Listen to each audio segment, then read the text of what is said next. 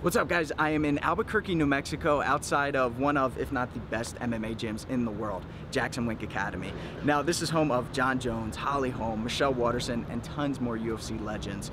Now, my goal in life and with Fight Tips is to become the best possible coach I can be. And I'm gonna sit down and interview who many believe to be the best MMA coach of all time, Greg Jackson. So let's go pick his brain a little bit.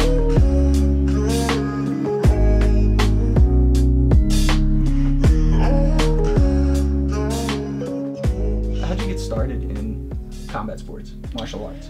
Uh, I got started in martial arts because it was a very practical need. So I didn't watch a Bruce Lee movie or something like that. Um, I grew up in the South Valley of Albuquerque, New Mexico, which is a uh, very Hispanic culture.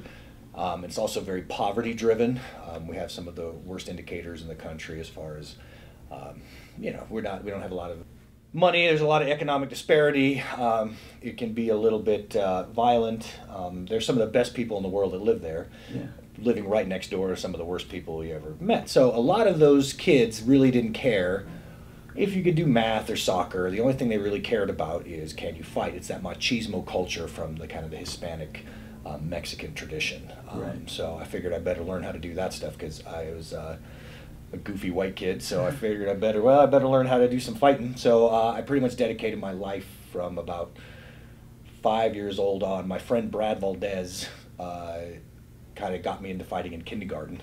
I met him in his great family that I was kind of raised by uh, in, in kindergarten. That's why I always say he got me into this whole thing. So for me, I never wanted to be a coach. Hmm. Um, and when I was 17 years old, I opened up my first school uh, because my friends wanted, you know, I was defending myself and, and uh, fighting here and there. And people wanted to know how I was doing what I was doing. And so I started training my friends. We had kind of a group of us. And then uh, we opened a school up. More people came. The UFC started. Um, then that was in those days it was the, basically the bare knuckle stuff. There was no rules or anything like that. Yeah. So my students talked me into doing that stuff. They wanted to go compete there. For me, it was unrealistic because you know you're a stupid kid. You're like, it's not the street, bro. You're only fighting one guy. That's why we're gonna train. You know what I mean? For me, it was always you're fighting two or three. But, you know, it's it is what it is. Yeah. So I was a moron. Um, but they talked me into it, so they wanted to go do it, and then they started winning everything and then 25 years later, here I am. Basically, we just kept winning. We won a bunch of grappling tournaments, then we won a bunch of uh, MMA stuff, and then we took all like the smaller shows, like the King of the Cage, we took all their world titles, and then the mid-level shows, and then finally the UFC. We've had a bunch of title holders there too. So here I am. So that leads me to my next question, which is like, because I, I struggle with this. Do you believe in training MMA as a, as a whole, or should someone train a base art like wrestling or striking? And then... that that used to be true where you started in something, but no, the whole the whole now is fine. Huh. Um, you can have a base that you come from, but the days of like the wrestler versus the kickboxer are pretty well over. I mean, you, you right. have somebody with a wrestling background, and that's fine. Um, and certainly, wrestling, in my opinion, gives you the toughest mentality of any mm-hmm. of the combat sports as far as the base. But yeah, training in MMA is where it's at. Like, yeah you can be a great wrestler and still get killed kickboxing. Right. Um, how many fighters do you have? Like, how many are you actively oh, coaching right now? I don't know. It's a lot. We probably have between 70 and 100 pros in here right now. How do you do it? I don't. so I don't work with everybody individually. We have a great coaching staff, and the coaches honestly are much better than I am. Um, so I probably work with like 15 or 20 myself how do you find it? How do you trust coaches? How do you find a team? Well, now that's that setting a team culture, setting um, a uh, finding the right coaches. A lot of times they weed themselves out. Some coaches are in it for them, you know, the glory, or they think it's a way to get themselves famous, or they're not into the grind, or they get entitled, or they just don't know what they're doing. And so, yeah. um, being a coach is hard. You have to have the personality to, to put up with a bunch of little stuff. But you have to have the knowledge base. I always say I don't mind crazy. Like mm-hmm. I'm not saying nobody in here is saying I don't mind crazy, but you have to be able to deliver the goods. In other words, if you're crazy and you have you're a great artist or you are a coach that's brilliant, um, then I, okay, I'll put up with crazy. Hmm. If you're crazy and you have no idea what you're doing, nope. Right, right. So, and that's that's for coaching. But mm-hmm. fighters too, for same. the same way. Yeah, same. I'll put up and listen. I don't like if they're going to be disrespectful to coaches or whatever, see you. You know, have a nice day. It's got to be a two way street. They respect us, we respect them. Everybody's cool. Right. Um, but yeah, if, if they're a little crazy, it's good. Huh, that's interesting. Um, how much of your training that you do with your fighters would you say is physical, and then how much of it is mental? Like, are you a mind coach? Are you a therapist? Yeah, all of the things. So Yeah. you do. Um, my body's pretty damaged at the moment, but mo- a lot of it was physical, physical, physical, and mental. Men- There's no one to be a coach. You have to be able to do everything. Yeah. Now I'm trying as I'm getting over my injuries. I'm trying to move back into doing a lot of the physical stuff. But um, you have to be a mind coach. You have to be. There's not. If you're a good coach, you don't have one area that you do well. That doesn't mean you're not specialized. Like we have striking coaches. Striking coaches are also mind coaches, are also conditioning coaches, et cetera, et cetera. Yeah. All right, so let's fast forward to uh, to fight day. How do you get? What's what's it like backstage? Let's say it's a championship fight. What are you saying to Holly before she fights Ronda? It's all the same. Like it, that's and that's the that's the part where movies have trained you instead of reality. So movies are everything's dramatic.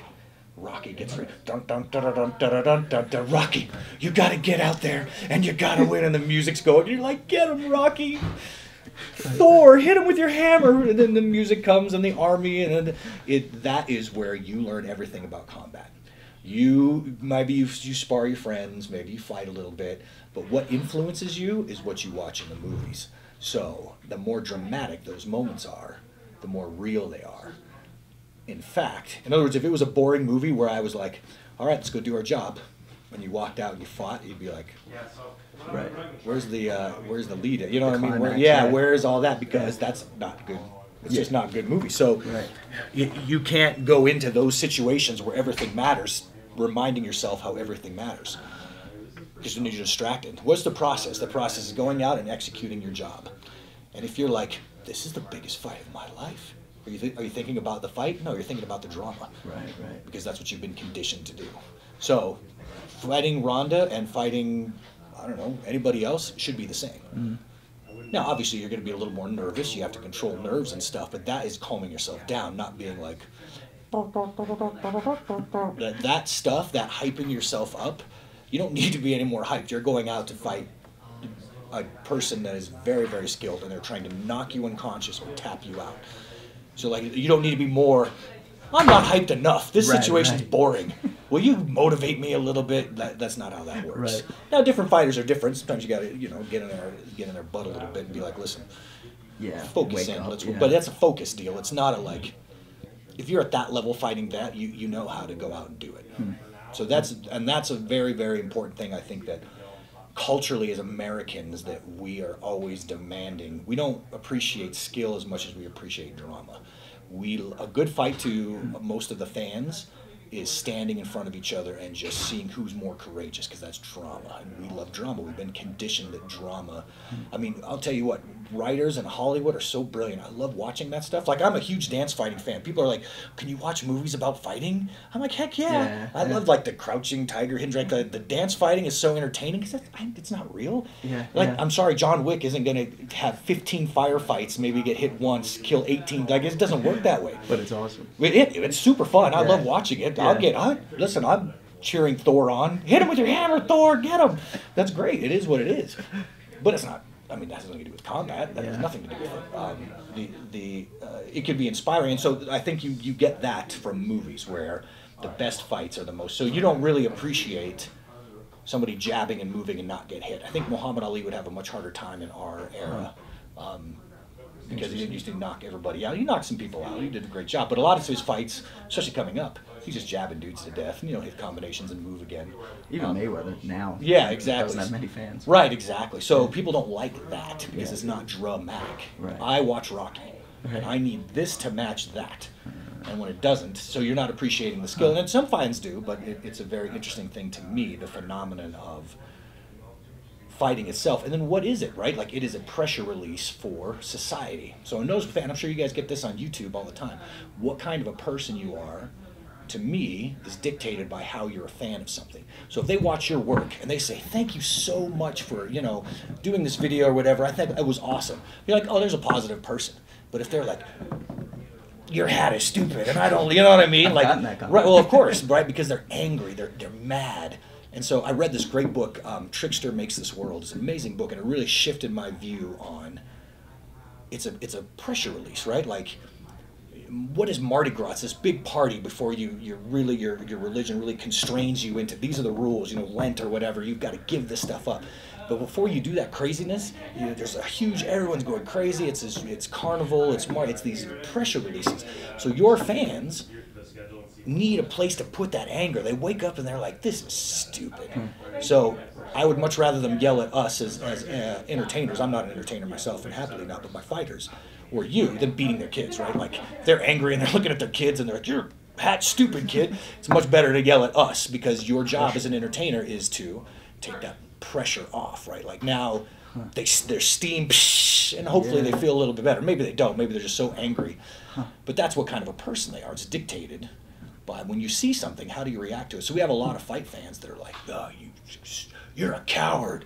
You just met right because they have to. Oh, it's in them. They have to get it out, and that's a very important societal Huh. function, I think. So like it- for me, it was very interesting coming to those realizations that it's not just skill. Fighting has very little to do with the actual. Again, Mayweather has very few fans. It's beautiful to watch for a guy like me. Yeah. Like wow. Yeah. But to a fan, you're boring, man. It's just a- Right, there was right. no Rocky music in the entire fight, and I was waiting. Right. So I mean, you deal with those people on the spot. You got the booze and stuff. If, Right. if it is a boring fight. Absolutely. So, I, want to get some advice from you. How do you be a good corner man? Like I feel like the fights that I did corner, I said way too much, and it mm-hmm. was it was too much for the fighter to pay attention, to listen, to follow. Right. And then in between rounds, what are the things that you're saying? Well, so it's the same thing. Remember that you're in a vol- you're in a situation where it's not a movie. There is somebody trying to whack you in the head hard enough to knock your consciousness from you. So what does that mean? It means that you need to calm down. First, you got to get their heart rate down, or you can tell them everything in the whole wide world, and they're not going to hear a word of it. Yeah, yeah. So you get their heart rate down first, breathing using your using kind of combat breathing style to get their parasympathetic and sympathetic nervous system in line. So you get that heart rate down as slow as you can get it. Then give them one or two things to work on. They're not going to listen to anything else. But mostly it's calming them down, staying positive, and then you have to read the fight. You have to see. Sometimes your game plan is right out the window, and you could tell your fighter, "Do this," and he's not going to do it. So what do you do? You've just told your fighter, uh, "Do a takedown." Yeah. No, he, he's, he just feels like he can't get there. Yeah. So how do you adjust to that? So a corner man, for me, what a good corner man is like improvisational jazz. You have to know when to push. You have to know when to pull. You have to know when to change the timing of things. Uh, you, you have to be able to, to read the jam session Yeah. and then accordingly contribute to that situation. If you can't do that, it doesn't have anything to do with information. Information is the cursory level. It's like a beginning. It'd be like uh, working a camera. Like if you think that your interviews are about where you point the camera, it's important. Like right, you have to have the information. You have to point the camera at the person you're interviewing. But there's a million people right now that are pointing cameras and trying to interview people. Right. Right. Like so, what what is it really? Then it's getting to know your interviewer. It's asking relevant questions. It's so that everybody will learn, and that's what fighting is. The technique, like oh, everybody does these breakdowns. Well, he uses the jab and he uses fifteen percent degree angles. And stuff's important, but it has little to do with fighting. Right. Fighting is what can you make your guy do? How do you adjust to what's happening, and where do you go when things go wrong? That's what cornering is about. You, I heard you earlier say you don't read, but how do you? Oh, I read all the time. I was being Oh, okay. sarcastic. Yeah. So, could you recommend anything? Depends on what subject you want. I mean, that, listen, Trickster makes this world. If you're doing in your line of work, Trickster makes this world. Okay. It's an amazing book. It's about, well, it's about a lot of things, but it's about the joints of society, like what joins us together, what culturally. And he goes, he's very Joseph. Did you ever read The Power of Myth? Read Joseph Campbell first. So read Joseph Campbell's Power of Myth. Kind of get a uh, an overview of the uh, similarities between what it means to be human in all these different cultures, and then read Trickster Makes This World. And that for your job, that would be an amazing Yeah. thing, I think, for you. Awesome. All right. Uh, last questions. What makes what attribute? What is the most important attribute for a, a good student, a good fighter? That's a hard question. Craziness.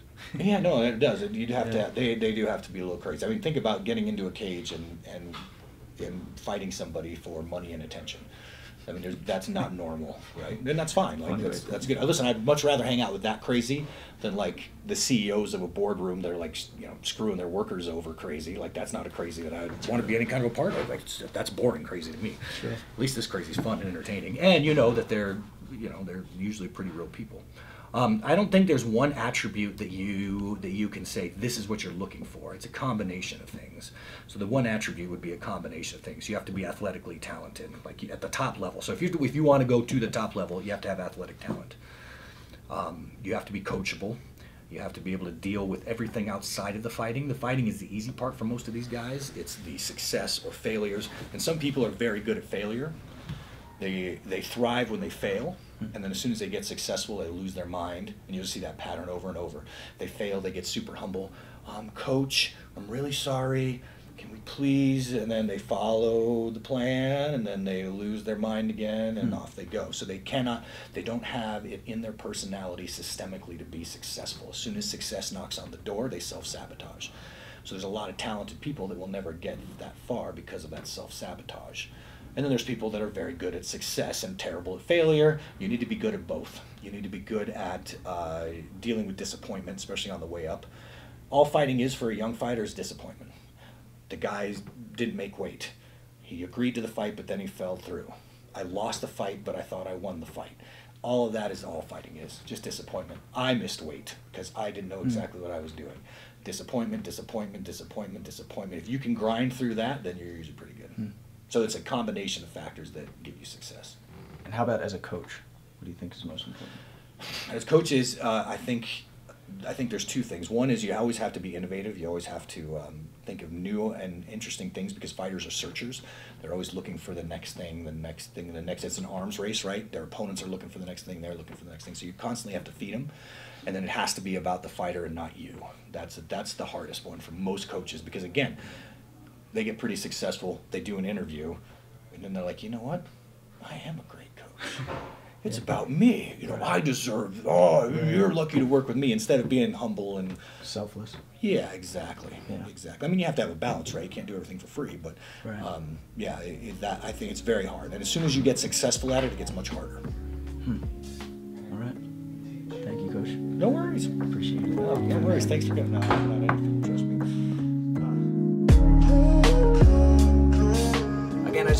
Coach Jackson for taking the time to sit down and uh, do that interview. Again, the information that he shared with me was priceless, and I truly appreciate it. Thank you guys for watching. Thank you for tuning in on this journey, on this tour. It's been awesome, but at this point, we're ready to go home. So if you haven't already, please subscribe to get the fight tips before your opponent does. I'm Shane with Fight Tips for the underdogs.